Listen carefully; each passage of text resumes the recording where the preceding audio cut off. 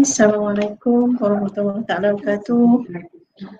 Uh, hari ini saya berada di HEP, Hal uh, Pejabat uh, Hak Ewan Pelajar.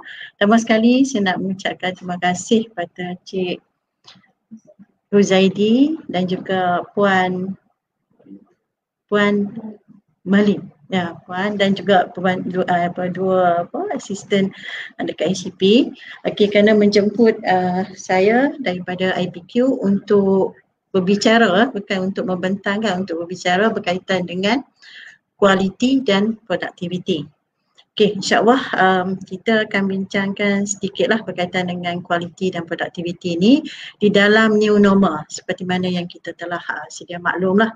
Kita sekarang ni dah bermula di apa orang kata di era yang di keadaan yang baru di mana um, yang tidak menjadi normal pada kita uh, seperti biasa mana kita pun tak boleh nak keluar secara bebas dan berada di sana sini pun kena mengikut SOP-SOP yang tertentu.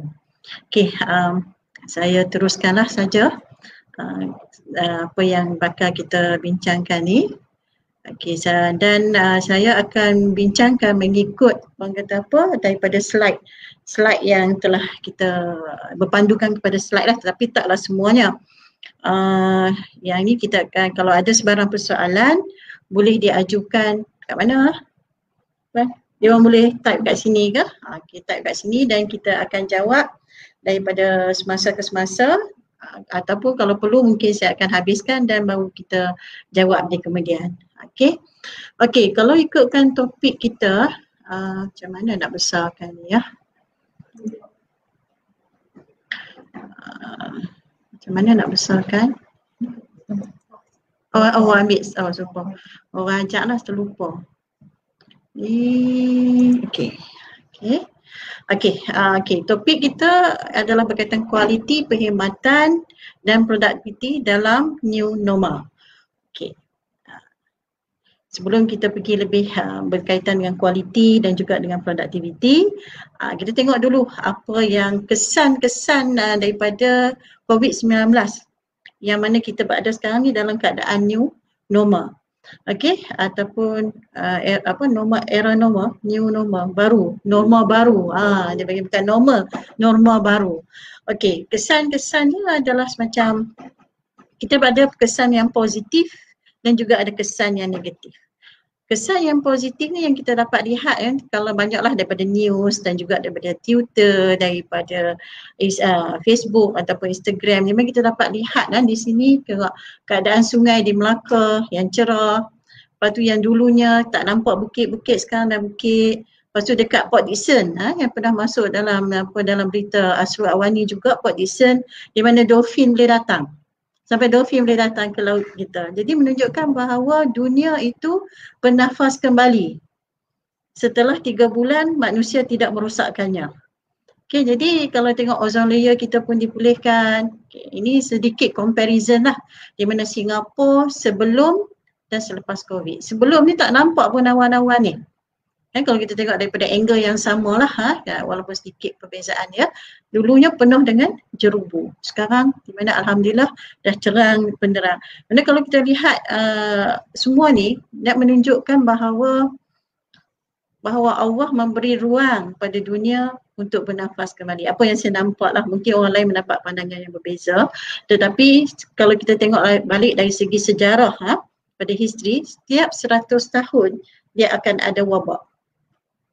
Dan mungkin kita berfikir balik kenapa setiap 100 tahun Allah turunkan wabak. Yang COVID-19 ni adalah kalau orang putih kata dia kata unseen enemy. Maksudnya musuh yang tidak nampak. Jadi kalau kita review balik bahawa berapa besarnya kekuasaan apa Allah di mana uh, musuh yang tak nampak pun dapat membunuh hampir beratus ribu manusia dan juga efek sampai berjuta-juta manusia. Okey, selain daripada itu kalau kita tengok sekarang ni apa yang new normal yang kita lalui adalah terpaksa pakai mask tapi ini saya dah buang lah sebab nak live kan lagi cakap tak dengar. Okey, uh, tu uh, naik bas pun kita ada social distancing kan. Uh, yang mask ni mungkin bagus kita tidak menyebarkan apa orang kata virus dan social distancing ni tak berebut-rebut. Dulu kalau naik bas semua nak cepat-cepat semua kan jadi kalau pergi kalau tengok dekat supermarket kan semua orang sanggup beratur disebabkan oleh COVID-19. Saya baru ni pergi klinik ya dari klinik tu di mana saya tanyalah doktor tu macam mana keadaan ramai ke patient. Dia kata patient dia makin lama, tak seramai sebelum COVID. Maksudnya dia punya income untuk uh, klinik pun makin berkurangan. Uh, dia kata sebab sebab apa mungkin disebabkan orang ramai ni tak keluar rumah. Jadi eh, semua orang duduk kat rumah, lepas tu jaga pemakanan, makan benda-benda yang masak sendiri. So disebabkan itu mungkin kurangnya ni. Walau bagaimanapun, ada positif dan juga ada kesan negatif kepada COVID tersebut. Okay, antara antara kesan negatifnya, ah, inilah seperti mana penipuan online. Banyak ah dah rumah, duduk rumah banyak, tak tahu nak buat apa, duduk telefon buat tipu sana tipu. Banyak juga rompakan, ha, samun, sebab kes ni memang ada terjadilah. Okay. Lepas tu uh, ini adalah kesan yang agak ketara iaitu banyak perniagaan yang terpaksa ditutup ataupun jatuh dan ataupun yang merosot. Okay. Dan yang satu lagi adalah uh, isu pembuangan kerja. Okay, pembuangan kerja ni okay, kalau kita tengok ah selain sebelum saya tentu tentang pembuangan kerja, kita tengok kepada um, hasil dah salah satu lagi lah ha, kita kan sekarang ni pakai mask banyak kan okay, banyak mask ha. tengok ha, kawan ni dia kutip mask yang ada di dalam lautan walaupun laut kita jernih tetapi sekarang ni dah dipenuhi dengan mask oleh itu uh, side effect dia jugalah bila kita pakai banyak mask dan kita banyak buang hopefully kita jangan buang mata rata lah Okay. Kesan yang agak ketara kepada ekonomi dan juga kepada Malaysia terutamanya sekali adalah di antara Malaysia dan juga negara-negara lain lah seperti US apa semua tu masih terkesan dengan pembuangan kerja dan kadar pengangguran. Kadar pengangguran di apa di Malaysia sekarang telah meningkat ya, daripada sampai ke 5%. Ini mungkin dikesan daripada uh, banyak kilang-kilang yang tutup. Dia ni macam dominus effect lah. Bila kilang tidak buat operasi, dia tidak memerlukan tenaga kerja dan ianya akan di orang kata apa dia akan dibuang kerja lah. Okey dibuang kerja. Uh, sektor yang paling banyak terlibat adalah sektor uh, industri ya. Industri yang terlibat adalah pelancongan. Industri pelancongan banyak yang terlibat dengan pembuangan kerja sampai ke pilot pun terpaksa di, dibuang kerja. Okey jadi uh, kita kita di sektor uh, apa ni public sector daripada sektor kerajaan okey um, kalau berbanding dengan sektor swasta, kita ni amat-amatlah beruntung. Ya. Saya bagi saya kita patut bersyukurlah siapa yang ada, kita yang berada di sektor uh, kerajaan ni ya, di, uh, yang masih lagi kita mempunyai gaji bulanan yang tetap. Kalau dibandingkan dengan sektor swasta, mereka boleh orang kata tidur malam tak lena sebab tak tahu mungkin terpaksa dibuang kerja ataupun dia akan dikurangkan uh, gaji, potong gaji 30% ataupun 10% dan sebagainya. Okey, pembuangan kerja ni mungkin kita tidak akan terasa secara uh, ketara sebab kita mungkin dari pihak kerajaan mungkin dia tidak akan buang pekerja yang tetap. Tetapi kalau pekerja-pekerja yang kontrak, yang sementara mungkin ini akan menjadi satu juga nightmare ataupun mimpi ngeri mereka kerana uh, potensi itu mungkin ada. Walau bagaimanapun, kita tidak berdepan dengan pembuangan kerja tetapi mungkin kita tidak akan ditambah pekerja.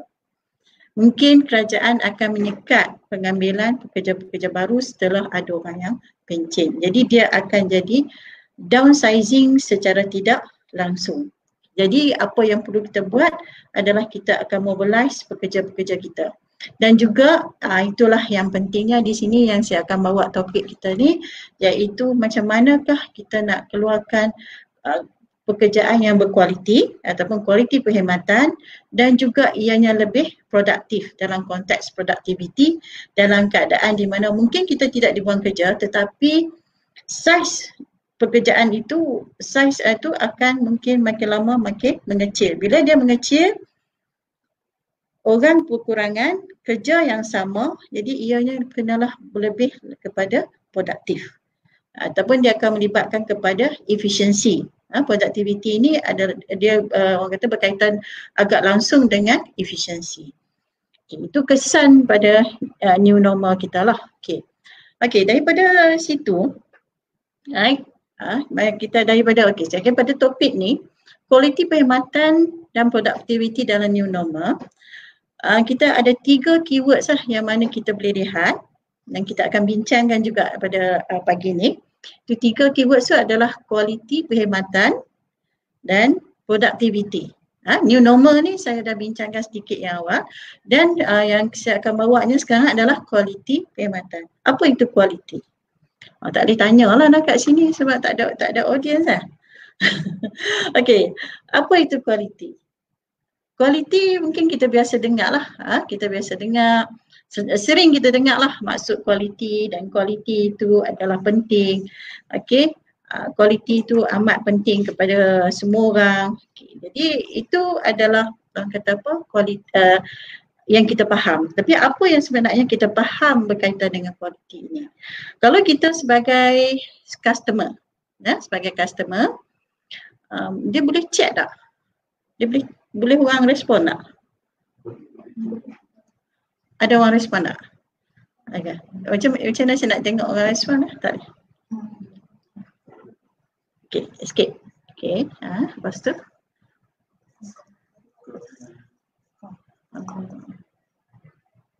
Ini macam macam macam kelas pula.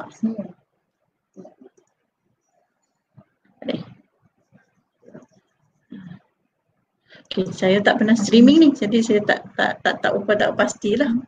Saya tak pernah. Oh, komen tepi ni. Ha, okay. Okay. Ah, okay, saya nak tanya lah kalau ada komen-komen siapa yang ikut ni. Eh, ni mana slide dah tak ada dah? Ah, dia tak boleh side by side lah. Ah, boleh boleh. Ah, slide tu sekecil ya. Dia tak pernah. Okay. Apa kom tak syarat.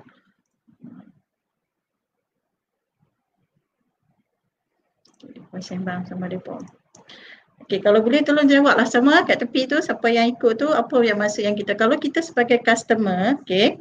Uh,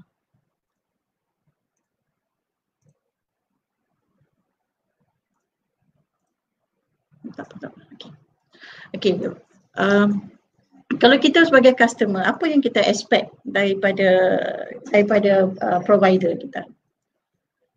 Ha? Kalau siapa yang nak tulis, tulislah kat tepi ni sikit jadi kita boleh ada interaction. Okay, kalau sekali customer, apa selalunya apa yang kita expect? Kita expect macam, okay, kalau kita pergi kedai, contoh kita pergi McDonald, ha? kita pergi McDonald, apa yang kita expect daripada McDonald? Ha, siapa yang ada kat sini boleh jawab. okay, kita expect satu uh, satu makanan yang sedap lah. Ha? ha? kita, kita nak makanan tu apa yang kita rasa minggu lepas, hari ni pun kita akan rasa. Okay. Yang keduanya kita akan rasa kita nak benda tu cepat. Kita tak nak tunggu lama-lama. Ini apa yang as a customer expect. Dan juga satu lagi kita nak juga orang kata ianya tepat. Kalau minta ayam tiga ketul, dia bagi kat kita ayam tiga ketul. Tak nak kita minta ayam tiga ketul, dia bagi kita apa uh, apa ni burger. Jadi benda tu tidak mentepati apa yang kita nak. Jadi bila kita tak tepati apa yang kita nak, apa kita rasa? Kita rasa marah kan? Kita tak satisfied. Itu kalau kita customer. Kalau kita as a provider, apa yang perlu kita buat? Sebagai provider, uh, uh, service provider ataupun perkhidmatan yang kita provide, tak kira lah di HCP ke di mana sekalipun, HCP lagi lah, HCP di berdepan dengan pelajar kan. Okay, jadi bila dia, apa yang customer expect tu, itulah actually apa yang kita expect tu, itulah juga apa orang lain expect daripada kita. Jadi apa yang kita perlu buat adalah kita mestilah memenuhi kehendak apa uh, kehendak ataupun kepuasan pelanggan. Uh, itu itulah maksudnya kualiti ini kalau di dari segi definisinya okey adalah um, okey dari segi definisinya adalah kualiti itu adalah sebagai ciri produk ataupun perkhidmatan yang dapat memenuhi kehendak dan kepuasan pelanggan. Maksudnya ciri produk atau perkhidmatan. Kita ambil fokus pada perkhidmatan. Yang tadi kan, ciri dia adalah macam tadilah Perkhidmatan yang berkualiti itu perkhidmatan yang dapat memenuhi kehendak dan kepuasan pelanggan. Apa yang pelanggan nak? Okay, kalau pelanggan nak benda tu accurate, okay, macam benda hari. Ha? Benda hari kita expect benda hari akan masuk gaji kita walaupun 0.1 sen mesti ada dalam tu. Macam banking. Ha, macam bank pun kita expect okay, account balance kita walaupun di akhirnya hujung lah sen tu 0.1 kita nak 0.1 mesti betul. That means that one tu apa yang kita nak. Jadi kita sebagai provider juga mestilah memenuhi dan cara mana kita nak memenuhi itu ha, itu yang kita akan tengok dalam proses tu tadi. Yang pentingnya sekarang kualiti itu, kualiti pengadaan adalah kita memenuhi kehendak dan kepuasan pelanggan. Kalau kan pelanggan datang, dia nak duit dia seribu. So dalam masa dua minit. So kita kena bagilah. Ataupun uh, ataupun apa sajalah perkhidmatan kan macam kata orang nak minta apa kita respon balik dalam masa satu jam bila orang tanya kita kita kata dah respon lima minit uh, okey kita patah balik lima minit tu that one is a orang kata apa adalah satu yang memenuhi kena. Kualiti ni dia nak katakan satu benda yang Uh, definite definition tu orang kata definasi yang uh, yang tepat tu agak sukar sebab dia tidak ada satu definasi yang tetap ha? definasi yang orang kata macam yang boleh diguna pakai kan semua kan ha, tapi secara generalnya itulah definisi kualiti definisi ini adalah memenuhi kehendak uh, dan juga uh, kepuasan pelanggan jadi kita sebagai service provider kita kena lihat apa itu kehendak pelanggan. Kita kena memahami uh, apa itu kehendak pelanggan. Uh, itu yang paling satulah. Okey, dalam kita nak buat uh, ni, kita tengok sikitlah ha, maksudnya uh, ni dia punya evolution of quality. Ha, uh, sikit uh, orang kata apa nak, bukanlah bagi kelas tapi kita sekat share lah kan. Kualiti ni dah wujud dah lama. Ha, daripada tahun 1900 lagi dan dia bermula di sebelah barat uh, dia bermula daripada uh, zaman perang dunia pertama lagi dia dah bermula tetapi lepas tu dia evolve dan dia pergi juga kepada sebelah uh, timur iaitu uh, Japanese uh, Japanese juga menggunakan tetapi mereka mendapat orang uh, kata apa nasihat daripada selepas perang dunia yang kedua iaitu daripada dua guru kualiti yang agak popular nama dia Juran dan Deming. Ya, dua guru. Nabi saya tak detail lah cerita history dia pada tapi uh, generation benda ni di, diwujudkan adalah berdasarkan kepada perang. Ya, bila perang dia pun memerlukan senapang dan juga uh, senapang yang tepat. Ha? jadi itu dia ada British BSI ni British Standard Ah, BSI ni adalah British Standard. Jadi dia military standard. Dia start dengan military standard sebab dia wujudnya senapang, maksudnya senapang itu mestilah uh, bila dia tembak, dia tembak lah, dia tak tembak balik ke belakang. Uh, jadi ada and then dia perlukan senapang, dia perlukan aircraft kan yang yang uh, yang yang apa orang kata yang berperang kan, aircraft yang berperang tu mesti selamat untuk dia punya army. Jadi dia berdasarkan daripada situ dia pun start dengan quality. Ini adalah evolution of quality. Saya tak tu, tunggu tak tak tulis ha, tak bagi semua. Dan kalau kita lihat di sini kita juga sebahagian daripada kualiti dunia punya iaitu ISO. Ha, kita UUM kita ada ISO 9001 2015. Sekarang dah sampai 2015 version dia. Dia start daripada daripada tahun 1987. Uh, Okay, sebelum tu dah ada quality. Ada NATO, ada military, okay, ada British standard, semua dah start. Eh, dah ada. Dan dia ada TQM konsep tahun uh, 1980 dan 1981, 87 dia, kita ada ISO. ISO ni dia bermula di sebelah uh, barat. Okay, tetapi kita kalau UUM, kita embark on ISO 9001 dan banyak orang tanya kenapa kita nak pergi ISO 91, buat apa kita nak menyusah-menyusahkan diri.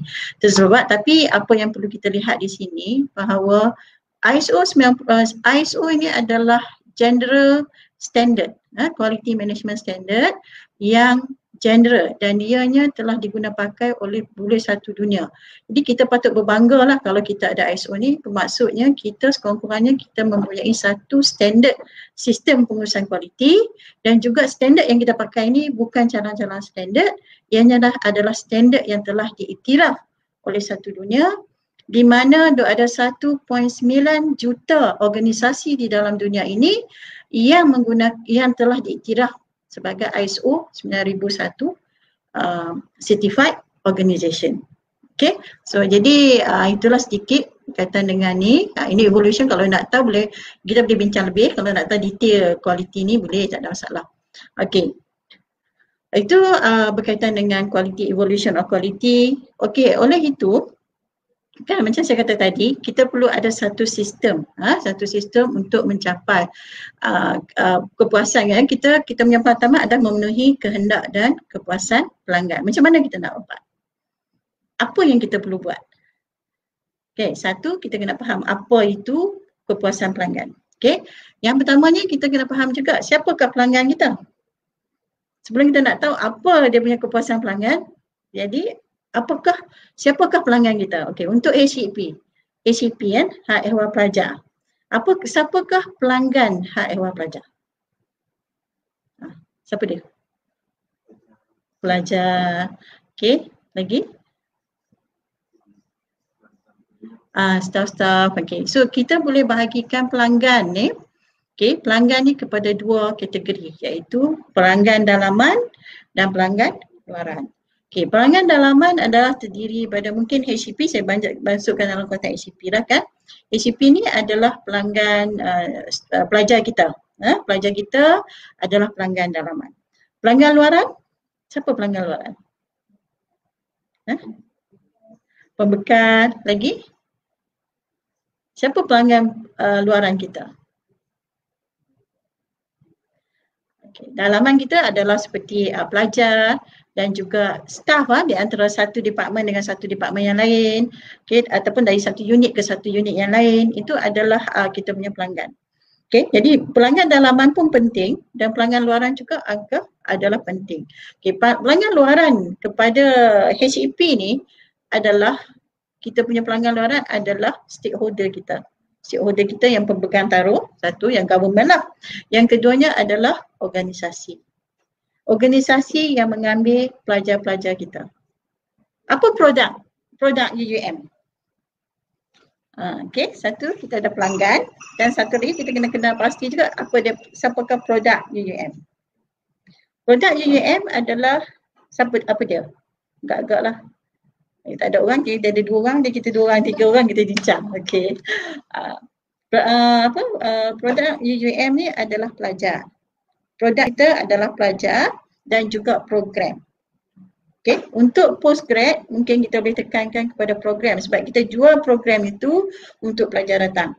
Tetapi untuk uh, pelajar undergrad, dia bukan lagi program satu sebab kita boleh dapat international student dan satu lagi adalah pelajar kita sendiri itu ditempatkan di luar organisasi. Jadi the employability itu adalah measurement the success of the UUM kepada undergraduate. Okay, jadi pelajar kita tu adalah produk. Uh, adalah produk kepada uh, UUM. Dan pelanggan kita tu itu adalah macam kita tadi adalah pelanggan dalaman dan pelanggan luaran.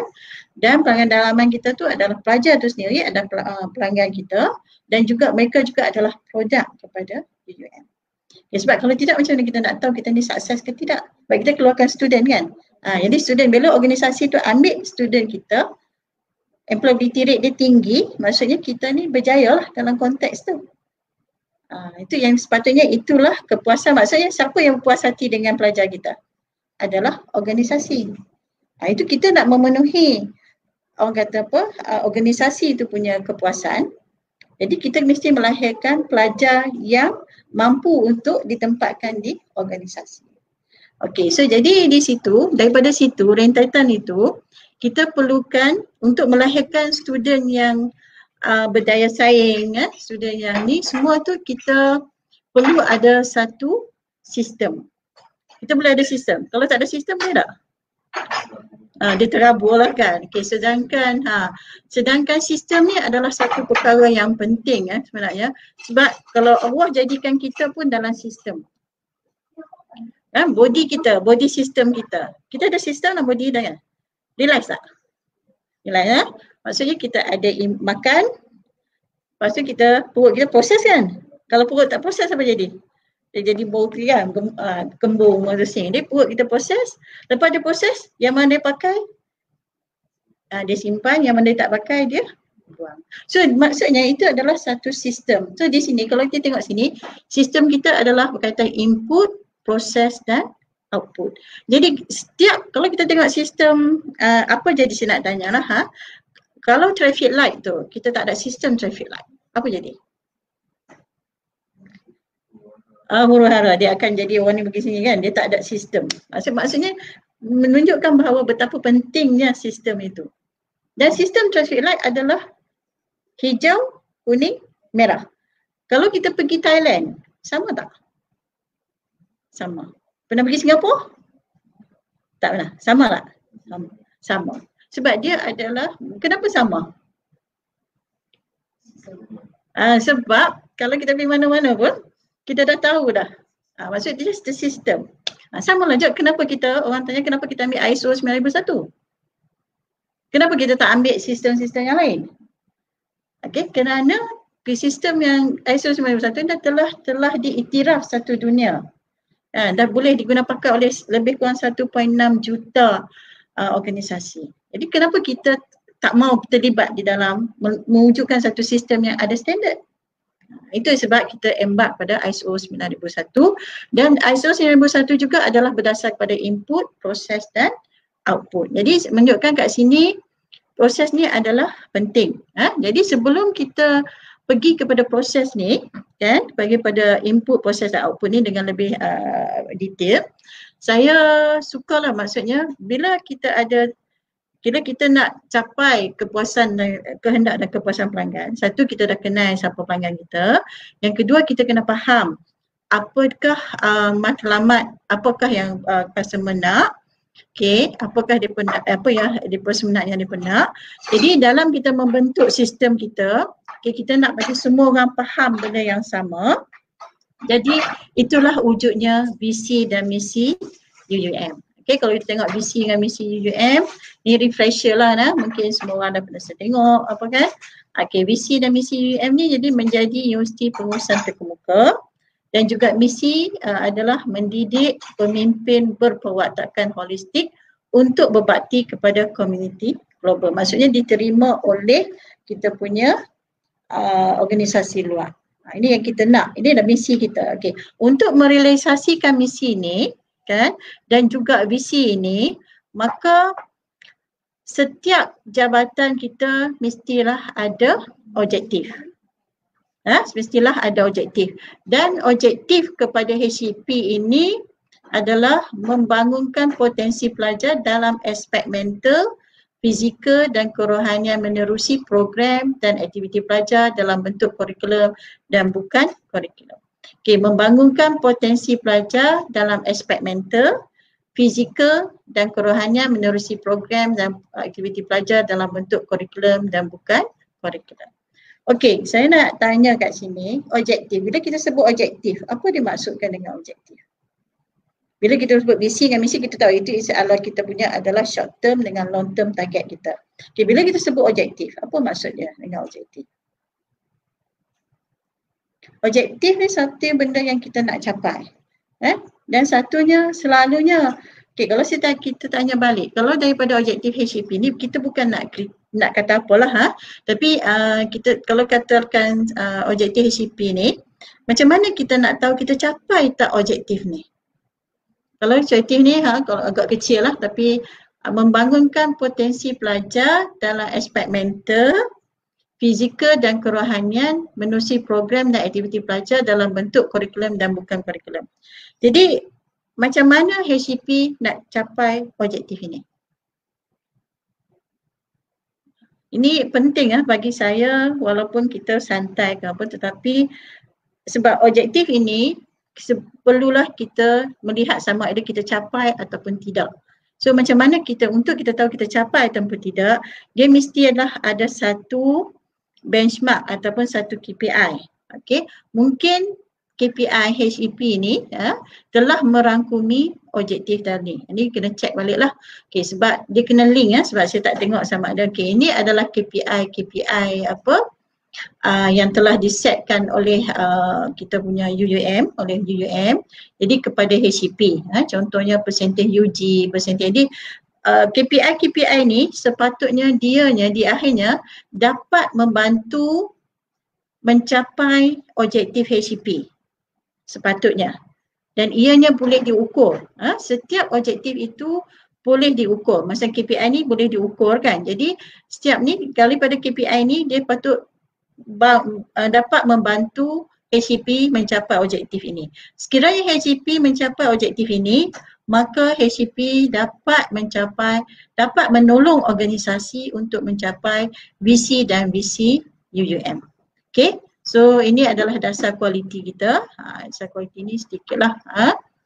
Uh, berterusan. Ni panjang sangat dasar kualiti. Pelanggan, eh, stakeholder, pelanggan dan stakeholder secara berterusan menyediakan pendidikan dan sistem perusahaan kualiti yang unggul. Okay. Right. Jadi uh, apa yang saya nak tekan kat sini adalah uh, objektif HCP dia mestilah ada KPI untuk diukur dan ianya adalah output kepada proses yang kita lakukan. Okay ya. Dia mesti ada tiga stages, eh? input, proses dan output. Jadi apa yang objektif ini kita set di awalnya sebagai input tetapi bila kita nak measure sama ada kita capai ataupun tidak ianya adalah output. Dengan tercapainya KPI HCP, okay, pencapaian ni maka kita akan menjawab akan objektif kepada HCP, target HCP itu kenapa kewujudan HCP itu dan secara tak langsung ianya akan membantu UUM dan juga uh, mencapai visi dan misi dia. Okay, so ini yang saya rasa ini adalah satu link. Okay, sekarang ni kita tengok pula macam mana eh, uh, nak capai the output. Ya? Untuk capai output ni, output tu dia tak boleh jadi biasa macam tu saja kan? Betul tak? Ya, tak ada ya, kena, dia kena ada input dan proses. Okay, kata kita ada proses sahaja, tak ada input, boleh kerja? Tak boleh kan? Tak boleh. Jadi input, proses dan output ni ada satu perkara yang normal eh, yang biasa kita guna pakai tetapi sekarang ni dalam keadaan new normal kita kena tengok apa yang boleh increasekan the process. Okay. So jadi kalau input ni, input ni seperti uh, actually kalau dalam bahasa Inggeris, dalam bahasa Jepunnya dia kata 3M. Eh, M, 3M tu maksudnya satu man, machine dan material. Ha, okay. So tiga benda ni adalah penting. Walaupun ada mesin tak ada tenaga kerja, boleh jalan tak? Tak boleh ke? Ha? Jadi support dekat button dia kan? Okay. Kalau ada mesin, ada tenaga kerja, tak ada bahan. Dia nak buat apa lah? Betul kan? Chip tak ada. So jadi tiga benda ni adalah adalah penting. Sama juga dalam konteks SCP.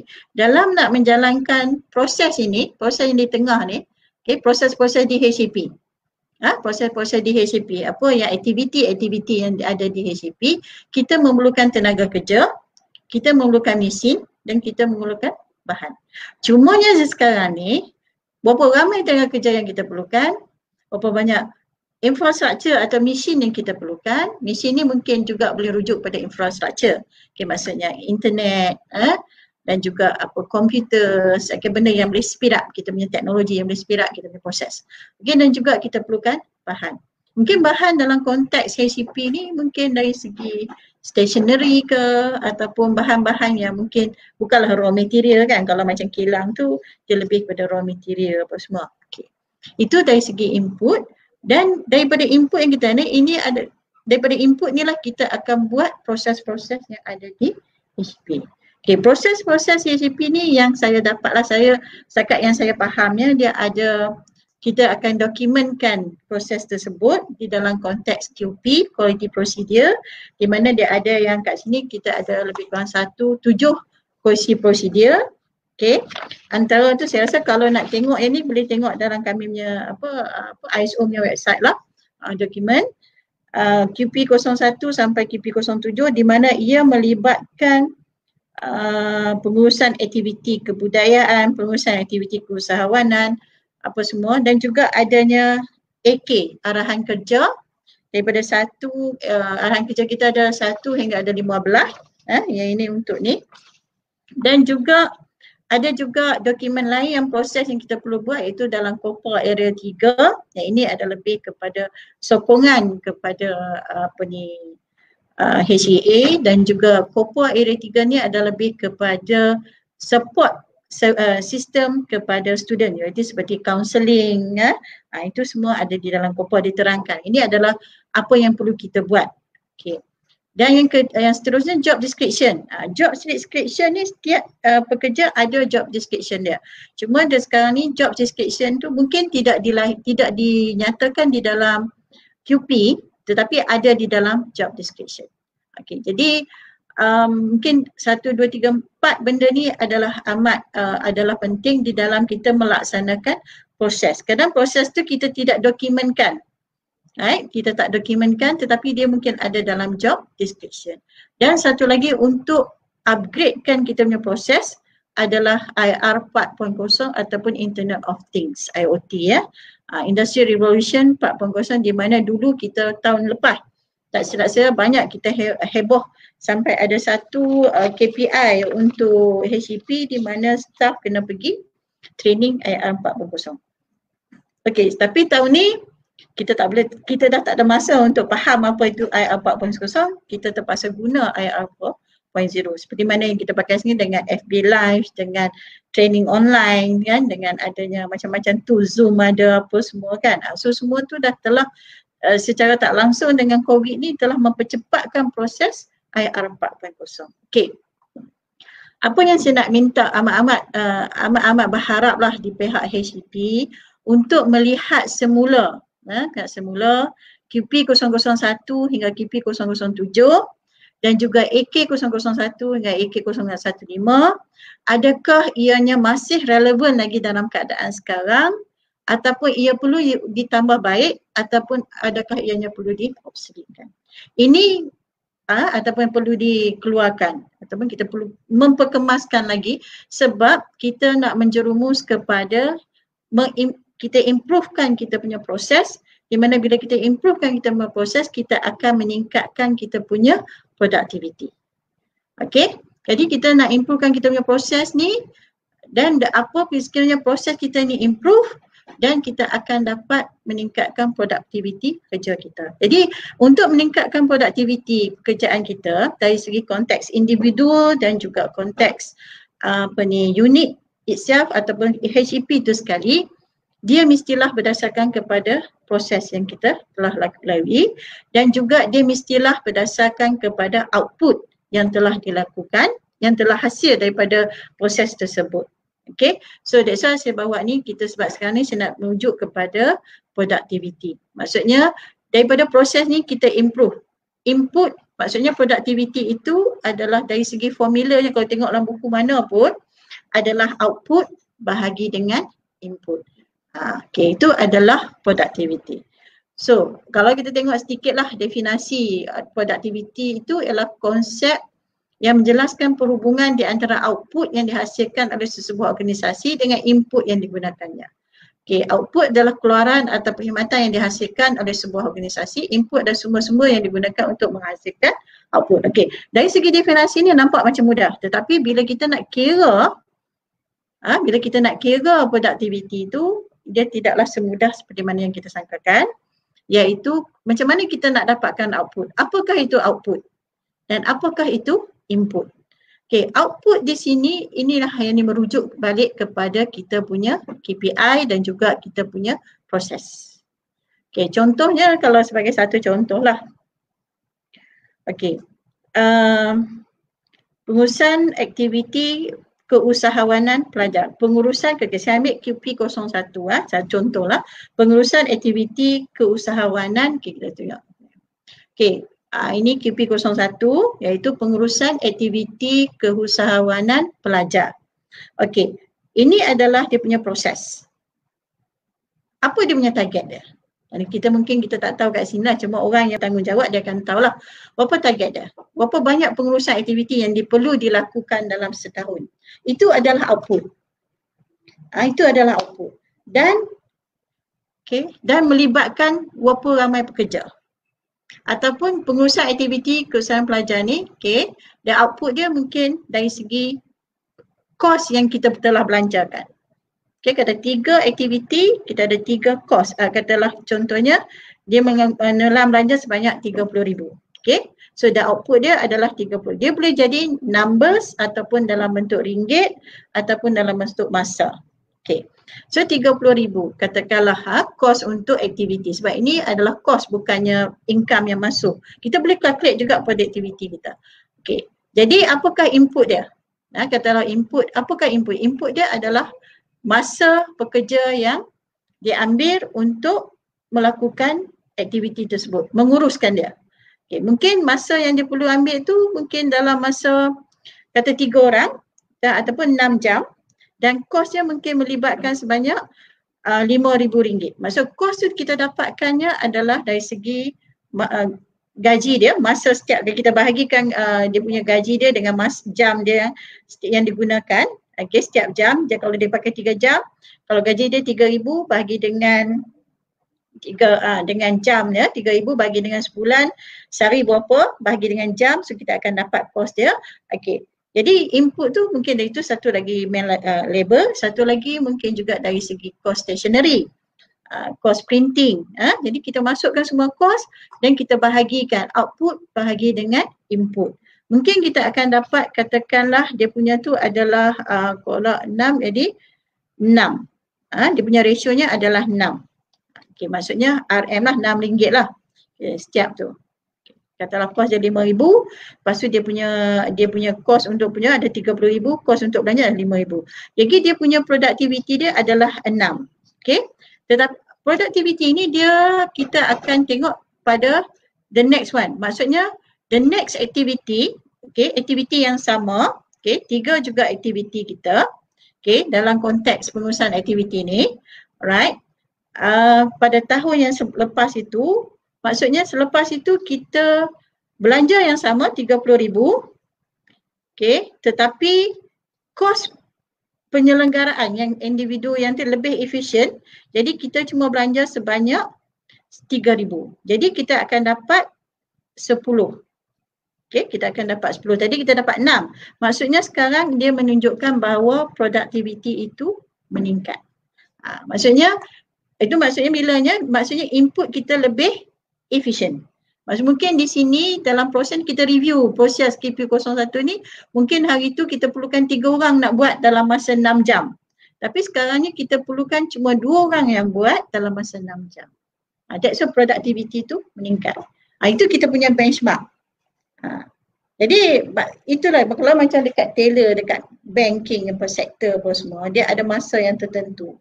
Ha, jadi kalau mas, within masa tu maksudnya bila dia improve dia lebih baik daripada masa yang telah ditetapkan maksudnya productivity dia tu meningkat. Bagaimana dia nak meningkatkan productivity macam HCP 0401. Mungkin dia dalam ni dia dah tak dia guna dah tak pakai human dia banyak guna teknologi ya. mungkin ada proses-proses di dalam QP04 ni dah boleh dikurangkan. Ha, jadi disebab itu productivity itu meningkat. Ha, itu yang dikatakan produktif. Ini yang kalau ikutkan mantan PM dulu dia melihat kepada productivity. Dia kembali walaupun productivity sebab kat Malaysia ni pun kita ada satu agensi dinamakan Malaysian Productivity Center MPC. Ah, kita ada productivity center tetapi mungkin kita tidak um, tidak didedahkan sangat. Sebenarnya productivity ni ada kita membandingkan hari ini dengan hari besok hari besok lebih baik pada hari ini. Dan itu juga adalah konsep Islam. Hari ini, besok lebih baik pada hari ini. Maksudnya besok kita improvekan lagi keadaan dan kita terus uh, kalau konsep quality ni adalah continual improvement. Maksudnya, okay, besok kita improve pada 10, lusa kita akan hari yang uh, tahun yang hadapan ataupun berterusan kita akan improve jadi 15. Maksudnya kita keep improving kita punya input dan juga kita punya proses. Ha, okay. Jadi macam mana kita nak uh, nak improve kita punya input, kita kena tengok baliklah kita proses kita yang ada. Itu saya minta sangat pada HCP, tengok balik proses agar ianya relevan kepada keadaan semasa dan juga sekiranya ianya tidak diguna pakai lagi, maka keluarkan ia, dapatkan ia satu benda yang relevan dengan keadaan semasa dan juga kita masih guna pakai dan ianya perlu dah di mapkan balik kepada job description. Sebab dengan adanya job description dan juga uh, apa ni orang kata activity activity ni uh, uh quality policy uh, QP dan juga AK ia akan dapat memberikan lebih orang kata uh, bila adanya assessment. Ya? Individual assessment tu lebih justify lebih lagi ada dia punya uh, tracking dia yang kita boleh bagi uh, orang kata objektif uh, macam saya faham orang dekat uh, bahagian admin ni dia nak kita nak nak nilai tu performance seseorang itu agak suka sebab dia very general. Okay, so productivity juga kan kalau kat sini, ni adalah basic formula output and input, okay. Dia juga adalah disokong dengan betul-betul uh, ada dengan kita dah buat dah ha kalau ikutkan tu activity 5S, KIK, Lean. That's why lah kita UUM dan juga IPQ ha, menekankan kepada activity 5S, KIK dan juga Lean. Okay, sebab activity 5S ini akan menolong kepada productivity. Dan sama juga dengan KIK. KIK ni bila kita buat ada penambahbaikan daripada proses yang lama. Dia konsepnya adalah sama. Ha, cuma kita kadang-kadang kita tak, oh KIK is KIK, productivity is productivity. Ha, tapi sebenarnya benda tu adalah satu kaitan. Ha, dan sama juga bila kita buat lean. Lean ni adalah waste. Uh, mengurangkan uh, seven waste seven ways tu adalah motion, pergerakan, inventory waste. Maksudnya kita lihat sekarang banyak sangat uh, stok-stok yang ada uh, macam mana kita nak kurangkan. Mungkin sekarang stok kita simpan 10, uh, besok uh, uh, bulan depan kita tinggal 6 ke 7 ke. Jadi maksud itu adalah peningkatan sebenarnya itu semua adalah peningkatan kepada uh, productivity. Okay untuk for the start sekarang kita nak fokus pada productivity ni kami uh, di pihak IPQ menyarankan uh, sebarang penambahbaikan yang dibuat di setiap unit ataupun di mana-mana sahaja untuk uh, melaporkan. Ini untuk kita punya documentation. Ha, kita melaporkan, dia panggil laporan penambahbaikan ataupun uh, Kaizen. Kaizen ni adalah perkataan Jepun, Kai dan Zen.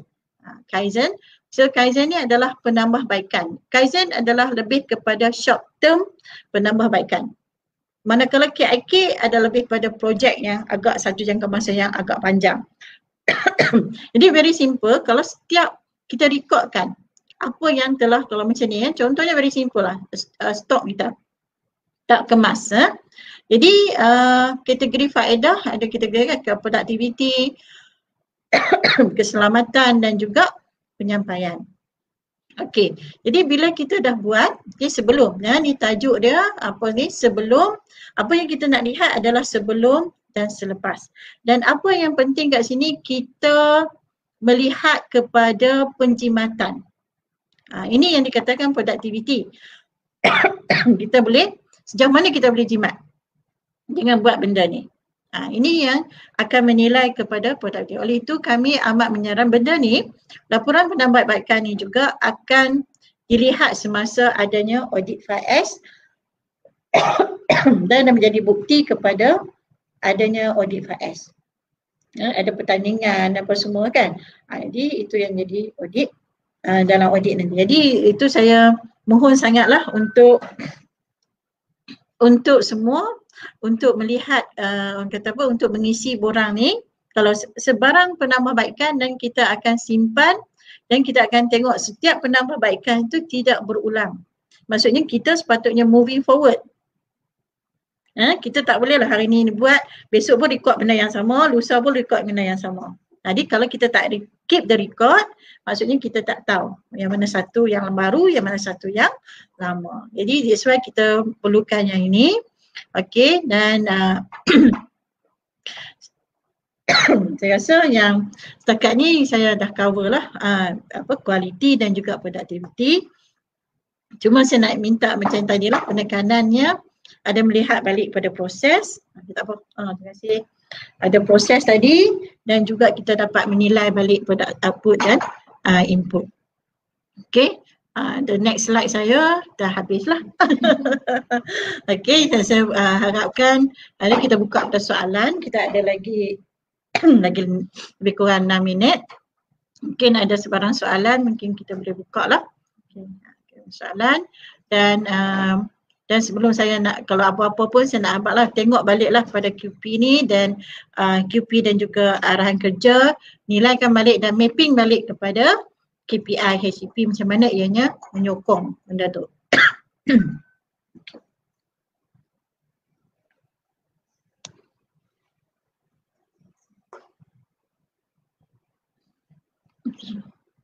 Okey, okay, produk UUM, pelajar program dan bahan-bahan ilmiah. Ya, betul, betul, stakeholder. Okey, ada soalan tak?